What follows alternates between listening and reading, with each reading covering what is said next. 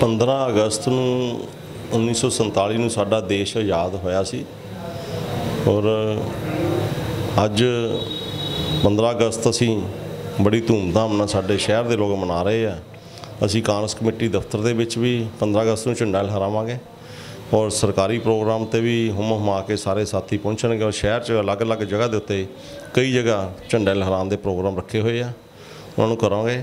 ਔਰ ਇਸ ਮੌਕੇ ਤੇ ਮੈਂ ਸਾਰੇ ਸ਼ਹਿਰ ਵਾਸੀਆਂ ਨੂੰ ਬਹੁਤ-ਬਹੁਤ ਵਧਾਈ ਦਿੰਦਾ। ਔਰ ਪੰਜਾਬ ਸਰਕਾਰ ਨੇ ਬੀੜਾ ਜੋ ਚੱਕਿਆ ਨਸ਼ਿਆਂ ਦੇ ਵਿਰੁੱਧ, ਅੱਜ ਨਸ਼ਿਆਂ ਤੋਂ ਆਜ਼ਾਦੀ ਵਾਲੇ ਪਾਸੇ ਨੂੰ ਆਪਾਂ ਚੱਲ ਰਹੇ ਹਾਂ। ਔਰ ਬੜੇ ਜੋਸ਼ ਦੇ ਨਾਲ ਪੰਜਾਬ ਸਰਕਾਰ ਨਸ਼ਾ ਖਤਮ ਕਰਨ ਵਾਸਤੇ ਲੱਗੀ ਹੋਈ ਹੈ। ਔਰ ਮੈਨੂੰ ਆਸ ਆ ਕਿ ਉਹਦੇ ਵਿੱਚ ਬੜੀ ਸਫਲਤਾ ਮਿਲੂਗੀ।